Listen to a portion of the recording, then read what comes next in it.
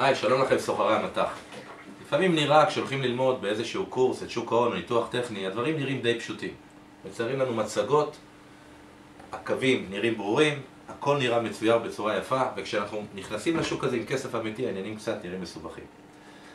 אני לא מכיר את שוק ההון, אבל אני בהחלט מכיר את שוק המטח, ואני מכיר אותו די הרבה זמן, ואני מבטיח לכם שמערך השיקולים להחלטה על trade הוא רחב מאוד. יש ניתוח טכני, הביסוס הוא טכני, ועובדה, אתם חייבים לזכור את זה, שהרוב מפסידים בשוק הזה. הרי ניתוח טכני הרוב מכירים, ובכל זאת הרוב מפסידים. לכל trade צריך להיות מערך שיקולים שלם.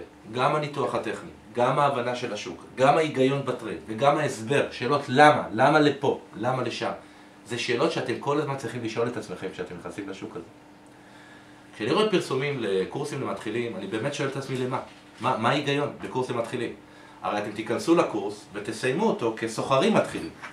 סוחר ותיק מפסיד. אז למה שאתם תצליחו? אין היגיון בללכת לקורס מתחילים. או שאתם לוקחים קורס מהבסיס, מהיסוד, לרמה מתקדמת, או שעדיף שלא תיכנסו. או שתמשיכו להתנסות לפני שאתם שמים שם את הכסף שלכם. לכן אין היגיון בלנסות לקצר כאן דרך. ניקח קורס למתחילים, נסחור, נראה מה יהיה.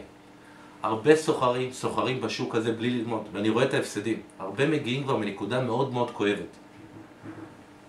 רוצים להצליח בשוק הזה? חבר'ה, תשקיעו, תלמדו.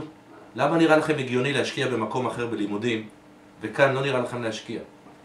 למה נראה לכם הגיוני להפקיד 20-30 אלף דולר לבית מסחר למטח למסחר בלי ללמוד, ולא להשקיע 500 או 1,000 דולר בלהכיר את השוק הזה וללמוד אותו?